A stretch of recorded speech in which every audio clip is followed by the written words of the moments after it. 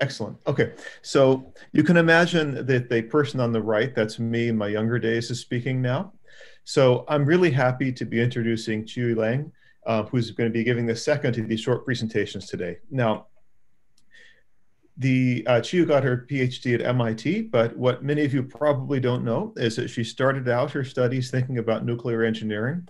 And for reasons that only she knows, she thought perhaps I was too concrete or too engineering like to really finish a worthwhile PhD in. So instead, she turned to the perhaps more concrete topic of interacting photons. Now, obviously, this is a bit of a specious thing usually because photons don't interact very much. Um, but uh, experimentally and also in collaboration, in fact, with Alexei, um, doing the theory part, she was able to realize this in a fantastic PhD. Then, thinking perhaps that this also is too concrete, after all, the photons at least were things, um, she came to JQI to work on ultra-cold atoms and optical lattices, in which you will see multiple uh, levels of abstraction required to finally understand the physics under description. So perhaps this is going to be Qiyu's ultimate level of abstraction, and either way, she can abstract more and become more concrete as she moves on to her faculty position at Purdue at the end of this coming summer. So I'd like everyone to join me in welcoming to you, and I'm sure this will be a great talk. Uh, and take it away. Thank you for this nice introduction, and thank you for hosting here. Uh, first of all, I'd like to thank the money sources and the fantastic team I work with uh, on this project. Um, Dimitri was a postdoc here. Uh, he started this project back then and he's now in Italy. Uh, I'm a postdoc with Ian Spielman, as you already know. So I think this uh, title is kind of too abstract, so I decided to give you an extended version, observe coherent evolution under noisy environment using Harper-Hofstadter model in a tube. And the talk will be structured like this. First, I'm gonna warm you up with the memory of a Aharonov-Bohm interferometer. And then I'll tell you how we build a Aharonov-Bohm-like interferometer using Harper-Hofstadter model in a tube geometry.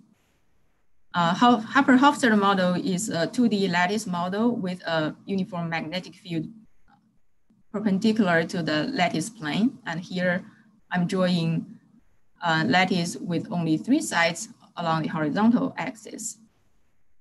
And if you can couple the edge M states zero to two here, then you will make a tube that looks kind of similar to the Aharonov-Bohm interferometer.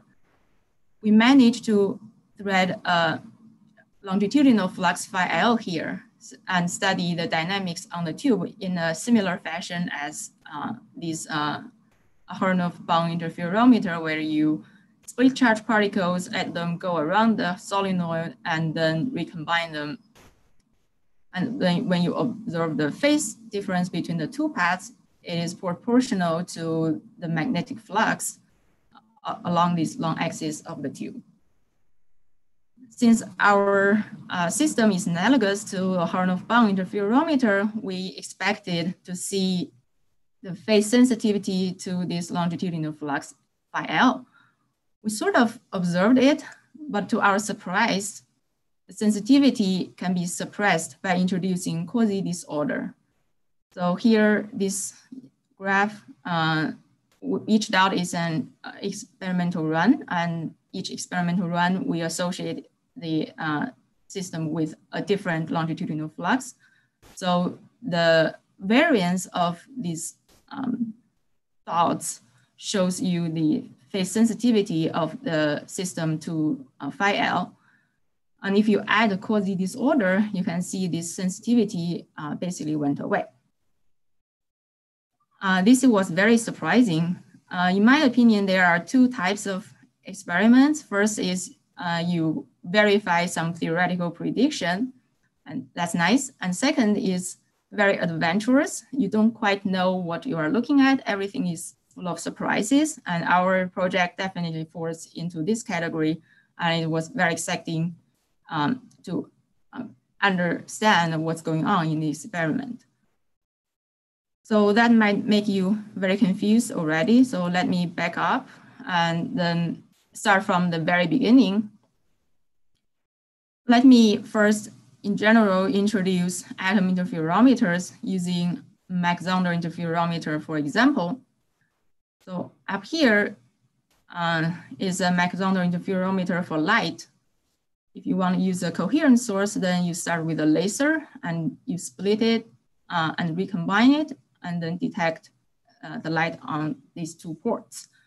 And the fringes will tell you the phase difference between these two paths and labeled as little phi here. In analogy for atoms, um, the coherent source is a Bose-Einstein condensate. Uh, we, uh, the analogous part of the beam splitter and the mirrors are uh, pi over two pulses and pi pulses. So we basically manipulate these uh, atoms with laser light. So the matter and light, the role are switched in these atom interferometers. And the detection is also different. Uh, here we need to take a state-dependent imaging uh, to, to, to, look at the fringes. An uh, example of this kind of imaging is our uh, time of flight uh, absorption imaging that can uh, separate the states here are labeled by M. And also we can resolve the momentum and along this horizontal axis. And this kind of absorption imaging will be our detection tools uh, in, in this experiment. Back to the Aharonov-Bohm interferometer, uh, we are not the first one building Aharonov-Bohm-like interferometers. Uh, here are some usages. Uh, on the left is the uh, use this idea to measure the pi Berry flux uh, around a Dirac point, and on the right uh, these spirals in the middle are anyons. So this interferometer is to uh, measure the anyon statistics. And these two paths are like this, this one path, and the second path is here around this anyon. So our approach is to uh, start with Harper-Hofstadter model. This model has two terms, the hopping term along the two di di dimensions. And notably, the hopping along one dimension has a phase. It's a complex hopping such that when the particle go around a lattice plaquette, it will pick up a Aharonov-Bohm phase. And this phase is proportional to the magnetic flux. And if you look at this model, you will see that this is how, this is the only way that the magnetic field entering this model. And, and so basically, if you can engineer a Aharonov-Bohm phase, then you don't need to actually uh, apply a real magnetic field. And that is the approach we are taking. We engineer this uh, phase by Raman transition. So these M states are internal atomic states.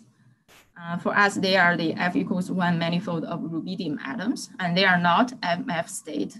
And for details of these states, you can look at this reference.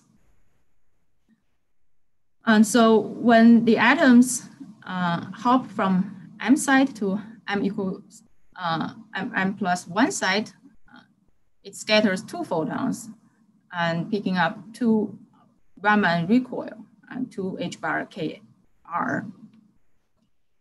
And meanwhile, this Raman coupling will give you a phase vector proportional to uh, 2krx. And the Lafave line algebra will show you that the transverse flux phi in this model here is equal to uh, the ratio of the wave number of the two lasers involved. The lattice laser um, is used to create the insights along this direction.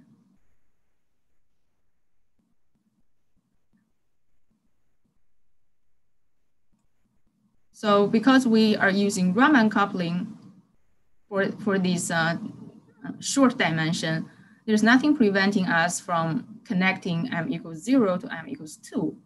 And that way you get the tube. So originally on the planar geometry, the little phase phi here, this relative phase between the two Raman beams has no physical consequences. But once you roll it into a tube, you can follow this uh, orange trajectory here. And when you go around uh, like this, then there's a longitudinal flux, and this little phi now make a contribution to the longitudinal flux. And this should have a physical effect, and as we argued from the Aharonov-Bohm interferometer. And when we talk about uh, uh, sensitivity to the longitudinal flux, we actually mean sensitivity to this little phi here. Uh, I want to summarize some features of this unique realization of uh, Harper-Hofstadter model. First, we can tune the uh, transverse flux phi uh, very easily by tuning the Raman wavelength because it's just the ratio of the wave vectors. And if you apply a real magnetic field to a real crystal, the required magnetic field is impossibly large, it's 10 to the fourth Teslas.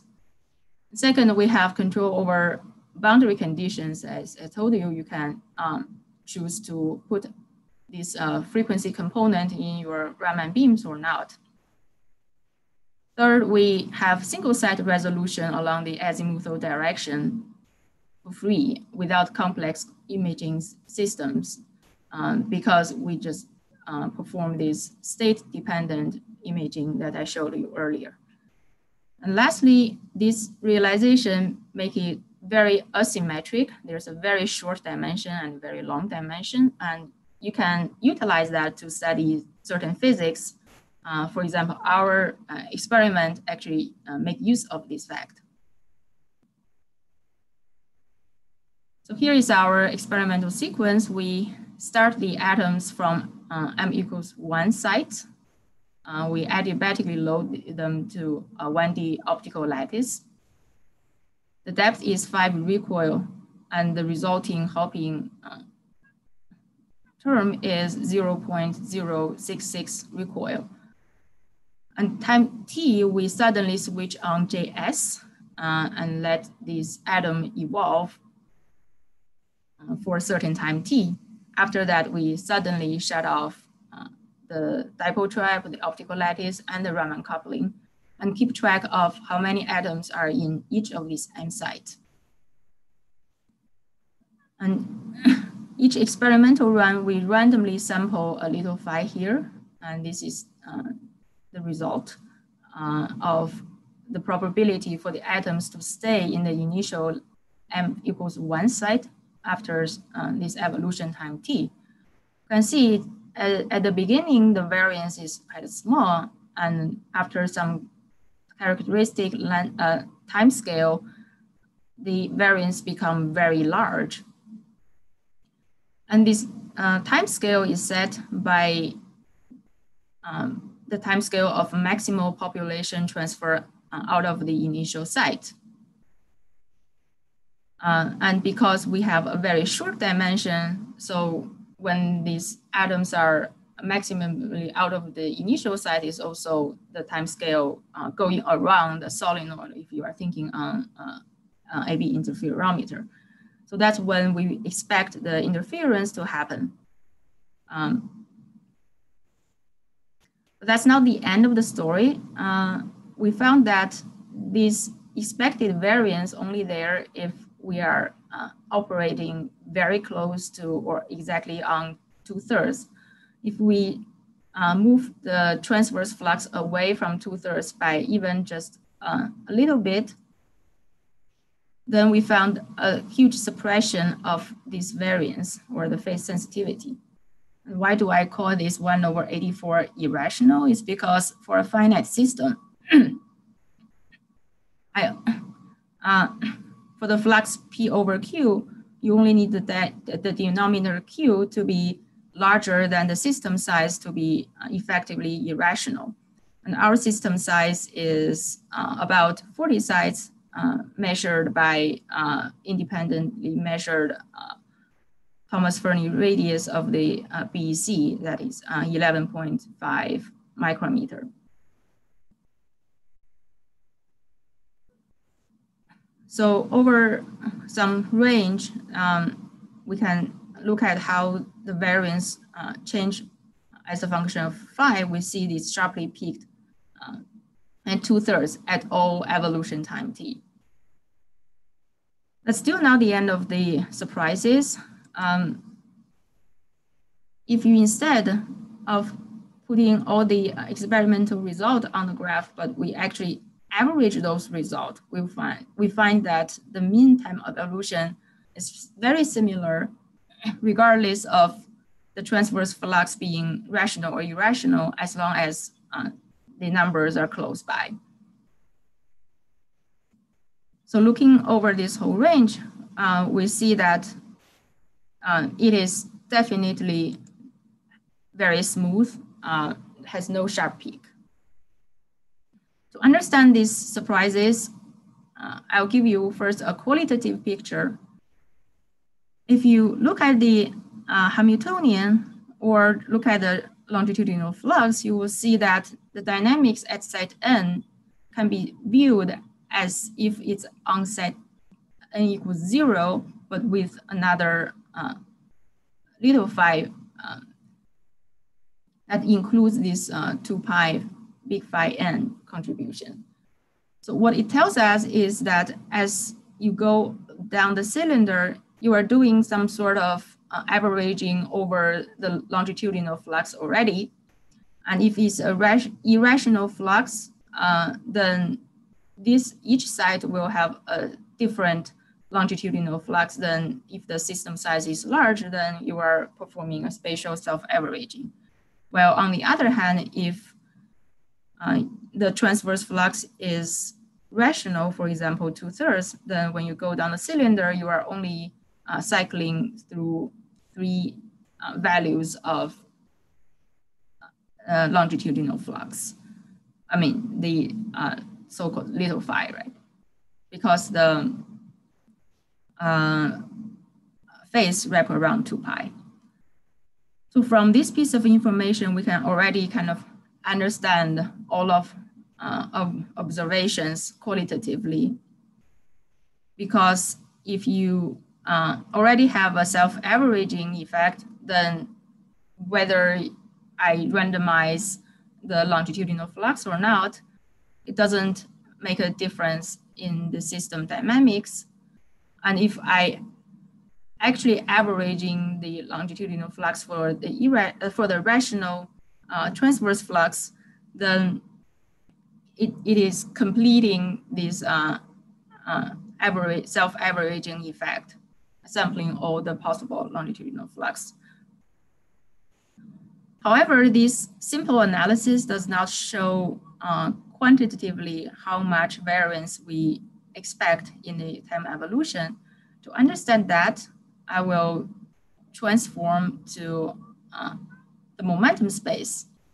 You do a Fourier transform such uh, that the n site will become crystal momentum Q, and the resulting Hamiltonian is series of one-dimensional uh, Aubry-Andre model in the momentum space. It also has two terms. The first one is hopping between uh, the new lattice site, J, and each J index is a certain uh, M state and a momentum state. And second term is on-site energy uh, through this cosine J phi uh, dependence. It is sampling the cosine function in a sort of random way, um, causing this uh, quasi-disordered on-site energy if uh, the big phi is irrational. So if you hate math, you can understand everything from this graph here. So each M state has its own uh, dispersion relation in the optical lattice.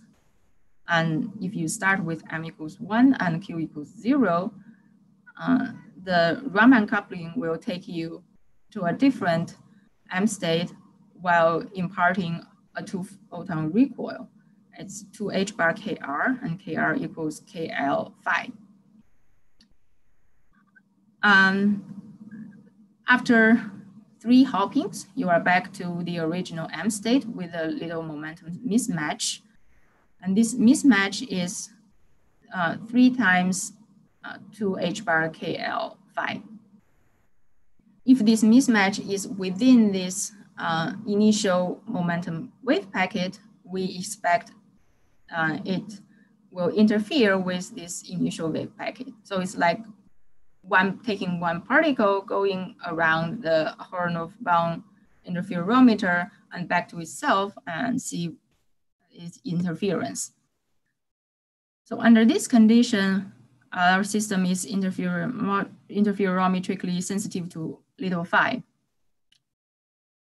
And so we see that uh, this sensitivity peak here is just a, a time average variance uh, agrees with our uh, argument. And although our experiment does not probe very far from two thirds, uh, we can run numerical simulation over the full range, and we'll see some uh, distinct peaks uh, at some simple uh, rational transverse flux.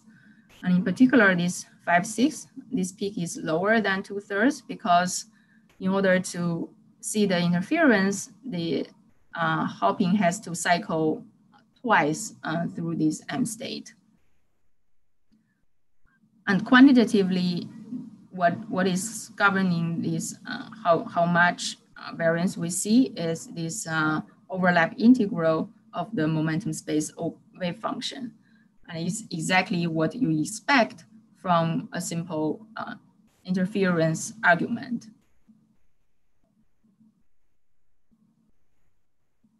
Um, going towards the future, we have created a new playground of quasi-disorder.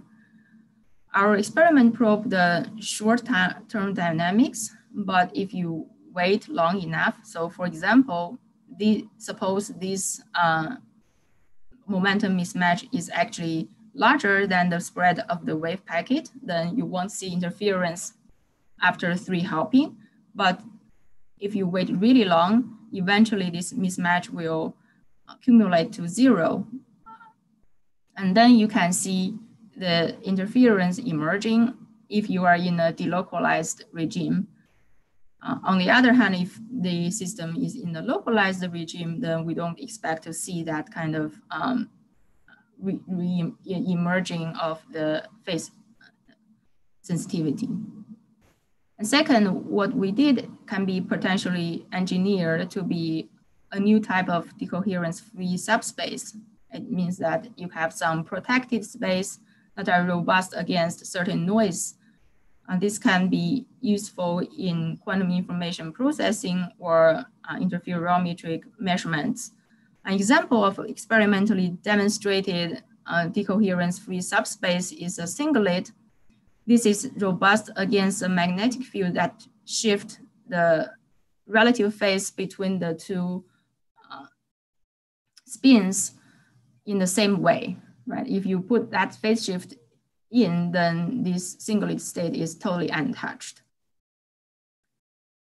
Uh, lastly, um, what our system is, is sort of a precursor of uh, Laughlin's topological charge pump one can engineer, and it's uh, actually proposed uh, to be used to characterize many-body topological invariants. Uh, what you need is to time varying this longitudinal flux, and this is equivalent to generate uh, electric field along the azimuthal direction.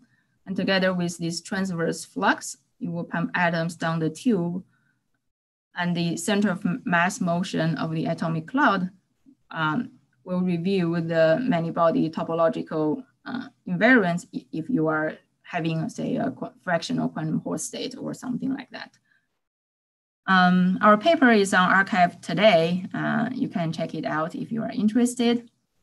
And there's a related theory paper just next to our paper on the arXiv. Uh, I'm moving to uh, Purdue in August. Uh, I'm, of course, looking for uh, postdocs and uh, graduate students. And if you are interested in this work or uh, you know somebody who might be interested in working at Purdue, uh, please help me spread the word or contact me. So thank you for your attention.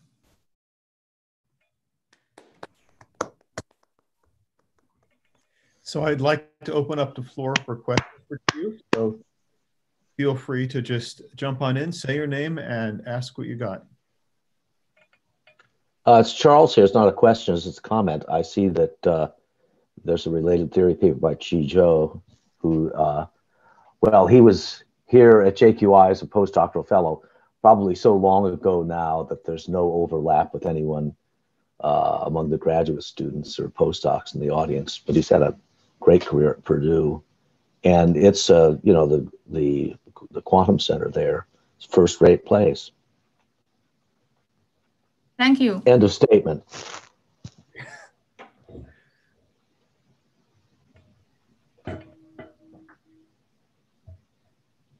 So after further advertising for Purdue, are there any other uh, scientific questions for Chi?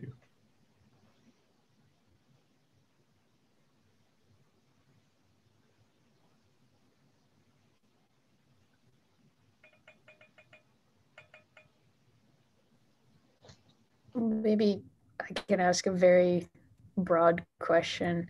So I guess like what would you have to to add to this to get the Laughlin charge pump? since you left us with that wonderful teaser?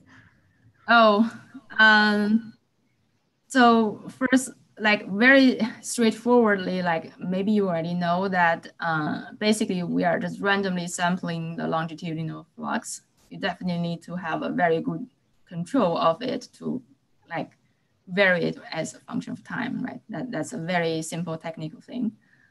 Um, but then I think my, my feeling is that to oh, I think that will just give you maybe if you have a, a quantum Hall state, then you have a, a sort of a topological charge pump. But what is actually interesting is to bring it to many body regime.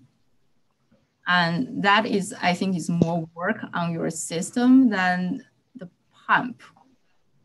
Uh, so I, I've seen like, of course, you need to have uh, interactions, right? I've, I've seen proposals with like say uh, interacting fermions or some say hard-core bosons. I, I, think you first need to engineer your interesting uh, Laughlin states, and, and then you can use your pump there. Okay, thank you.